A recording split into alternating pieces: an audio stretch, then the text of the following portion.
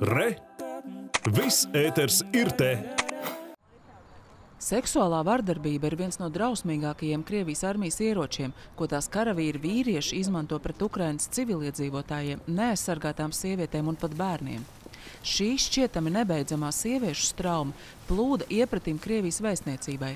Vizuāli iespaidīgā klusējošā performatīvā akcijā paužot atbalstu Ukrainai un iestājoties pret seksuālo vardarbību. Atbalstot vardarbībā cietušās Ukrāņu sievietes un meitenes, arī Latvijā sievietes un jaunietes ir izgājušas protesta akcijā.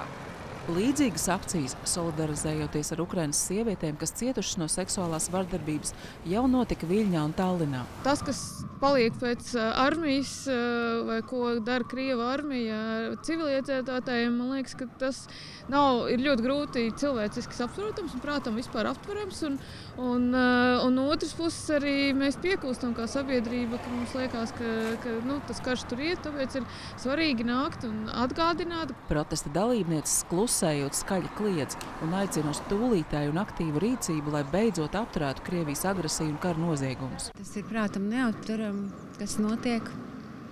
Arī mana meita ir šeit.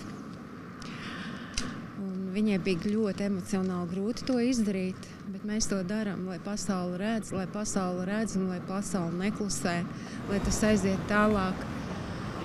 Jo tas ir prātam neaptverams šis ļaunums, kurš tiek nodarīts tautai, sievietei, bērnam, ģimenei, nācijai, mums visiem.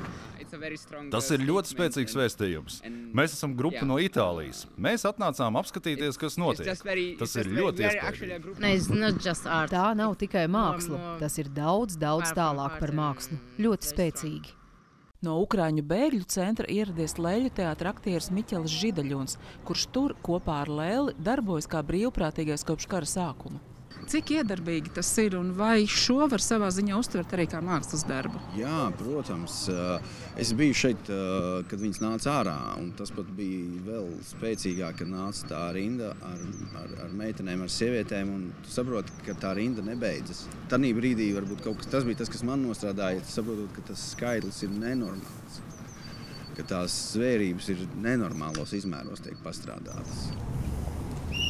Kad atskan svilpe, akcijas dalībnieces, kuras visu laiku stāvējušas puskailas ar melniem atkritumu maisiem galvā, zina, ka var būt brīvas un atgriezties ikdienas dzīvē zem mierpilnām debesīm.